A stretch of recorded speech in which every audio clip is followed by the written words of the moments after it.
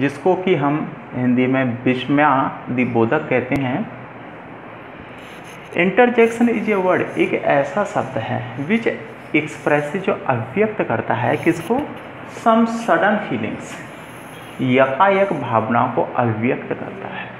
Some sudden feelings को अव्यक्त करता है, उसको क्या कहते हैं? इंटरजेक्शन कहते हैं। और फीलिंग्स जैसे इंटरजेक्शन में कौन कौन से शब्द आते हैं? हेलो है अलास है, हर्ष है, आ, ओ, हस। इन सभी को हम इंटरजेक्शन कहते हैं। हेलो, अलास, हर्ष और यहाँ पर आ, ओ, हस। अब देखो, hello what are you doing here यहाँ पर देख रहे हो, ये क्या है? इंटरजेक्शन है। Alas he is dead. यहाँ पर देख रहे हो, ये अलास इंटरजेक्शन है। आ हैव दे गोन तो यहाँ पर जो आ है, ये क्या है? इंटरजेक्शन है।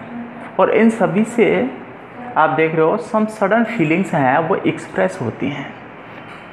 कुछ है, यकायक भावना है और अव्यक्त होती हैं।